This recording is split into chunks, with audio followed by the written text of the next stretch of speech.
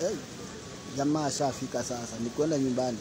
Kishaingia hapa airport, sasa ni kwenda nyumbani. After kupitia mangumu, kunyaganywa, karibu ninyaganywe pesa zangu almost elfu kama mia tatu, karibu ninyaganywe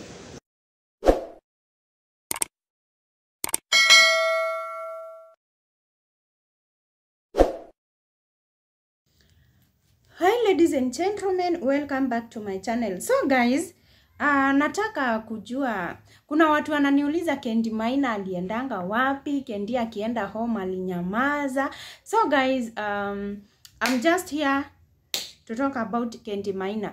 Wenye hawajui Kendi Maina ni huyu mwenye mnaona hapa kwa screen, jamaa ambaye alikuwa rafiki yangu sana, jamaa mwenye aliteswa sana akiwa Qatar, jamaa mwenye alifanya kazi miezi kadhaa Qatar bila kulipwa, jamaa mwenye hata alikuwa anatoka kwa hostel akiwa Qatar anaenda na miguu mpaka mahali anafanya kazi, jamaa mwenye hata alikuwa wanaenda kazi job huko Qatar na wanalala huko gari ati gari ya kampuni imeharibikia kwa njia, so ilikuwa inabidi saa zingine walale tu kazi.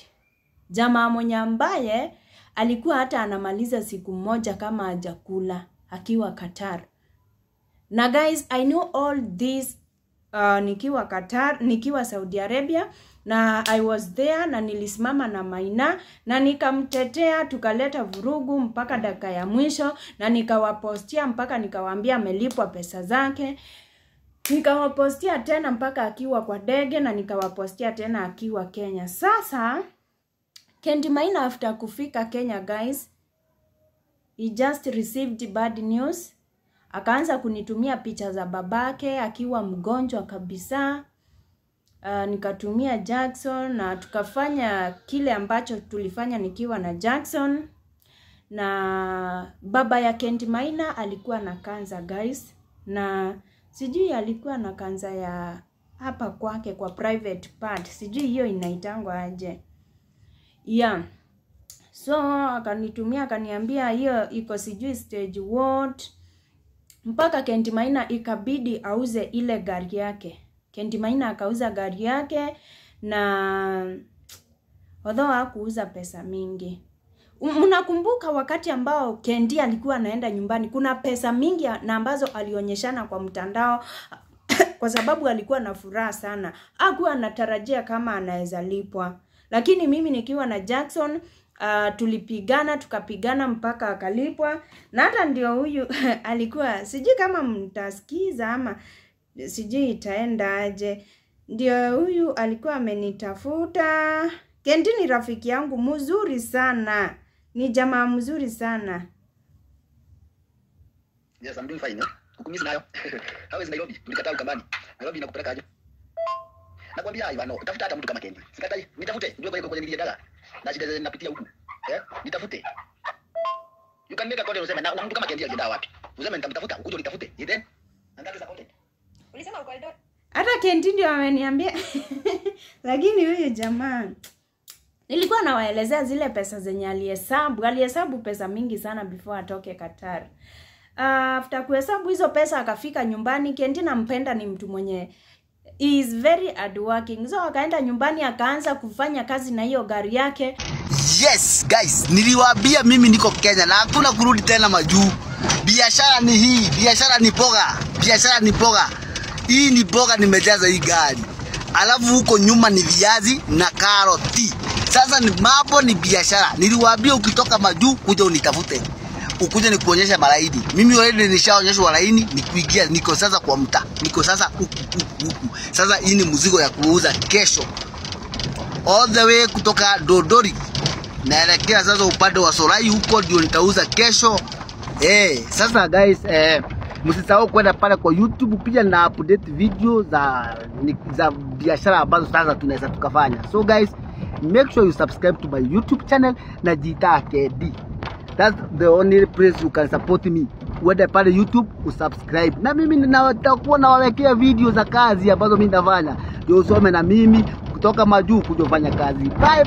mkienda kwa tiktok account yake mtaona vile alikuwa anawaonyesha akiuza boga anaenda kwa shamba ananunua makabeji, masukuma hizo maboga za kienyeji manyanya mawaru alikuwa very hard working sana lakini sasa guys bahati mbaya ikakuja uh, babake ikapatikana ako na kanza na ilikuwa stage 4 so walitumia pesa mingi sana. Juu kuna zile dawa alikuwa anakunywa kila mo, kila kila siku.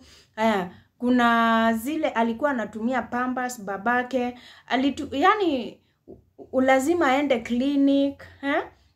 So kendi akakuja akashikana ikasemekana sasa kila mtu apewe duty. So kendi akapewa duty ya kuangalia uh, babake. So ukapata hiyo kazi inamlemea na bado anatakikana pesa. So they tried up to their level best.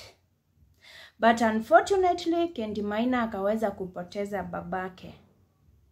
So uh, i remember senje. Senje akaunda group wakamchangia. At that time i was very busy kwa sababu nilikuwa na nini ndio nilikuwa nimefika kenya nilikuwa na sijui ilikuwa thanksgiving ama oh nilikuwa na katika harakati ya kwenda children's home na ilikuwa mwambasa na ilikuwa lazima niwakilishe juu hakukuwa na mtu mwingine.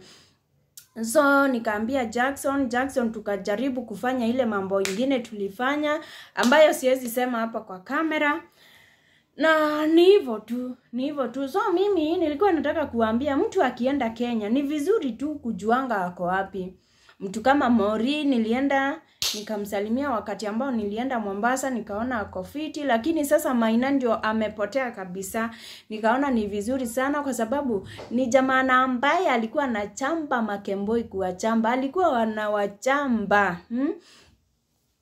Yeah so ni jamaa mzuri alikuwa mzuri alikuwa rafiki yangu nimemkumbuka leo nikasema ah lazima niwa, niongelelee kendi maina kwa sababu ai kendi maina alikuwa mlikuwa mnaona akiwa qatar tulikuwa tunafanya show mingi sana na yeye eh? lakini hajawahi niambia yale ambayo alikuwa anapitia alikuwa anapitia kendi maina alikuwa anapitia my friends hmm? He, ni vizuri sana wakati ambao unaomba unatamka tu kitu kuhusu team strong unatamka tu kitu kuhusu wale wakenya wenye wamekwama kwa kwa mahospitali like right now uh, tulikuwa tunatafuta felista nyambeki getui ule mkisi mwenye alikuwa amepotelea saudi arabia miaka mbili ajawahi tuma pesa miaka mbili ajawahi ongea na familia yake. So baada ya kumpigania kwenda kwa ministry of foreign affairs kwenda kwa ASMAC, kwenda kwa hizo vitu Uh, tuliweza kupigana na hizo vita hazikukuwa rahisi. Mliweza kuona mpaka ikabidi sasa tukusanye team strong wote wenye wako kenya tuandamane mpaka kwa hizo ofisi. But fortunately aka ile siku yenye tulikuwa tunaenda maandamano hiyo siku ndio tulitumiwa tiketi yake. Kumbuka kwamba felista amelipiwa tiketi tatu ya kwanza ikakuwa cancelled ya pili akaachwa na ndege ya tatu sasa ndio alikuja nayo kenya. Na nika tukamwendea mpaka kwa airport mkaweza kumuona vile aliweza kufika na tulikuwa tunampigania na demwenye anaitwa acha niseme tu angela jina ya mtandao ambaye ni anafanya kazi na human right kwa hivyo yeye ndio alikuwa anatusaidia. Uh, tulikuwa tunafanya pia na anaitwa frederick morena ango ya felista na kwa kweli mungu alitushika mkono na akatusaidia. Sasa tumebaki na msichana mmoja ambaye wakati ambao angela alienda huko saudi arabia kutafuta felista ndio sasa alipatana na hizo picha akaniambia hizo picha tukaweka tukaweka kwa mitandao tukitafuta mama ya watu wa gladys wanjiku ng'ang'a sasa after kuzipost ndio sasa tulipata watu wao. Ndio wakatuambia Felista ah, wanjiku gladys ng'ang'a alipoteanga kitambo in fact aliendanga 2019 akafanya mwezi mmoja akakembo. Ile video yenye niliwaekea tulikuwa kwa ofisi anatoka alipelekwa na pkg pkg sijui ni PG, pdg ama ni pgg agency. Iko pale information house fifth floor opposite afya center tulienda mpaka huko moja kwa moja tukapigana tukaenda mpaka asmac tukaenda nea tukaenda foreign affairs.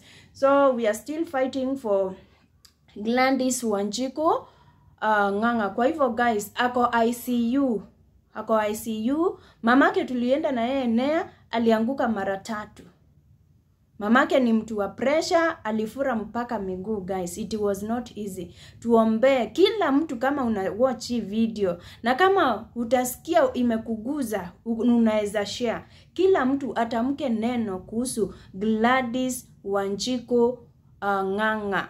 Please na tutashukuru. So guys bye bye for now i love you guys. Please take care. May your dreams be answered in jesus name. And guys also subscribe to susan elian channel. Bye bye bye bye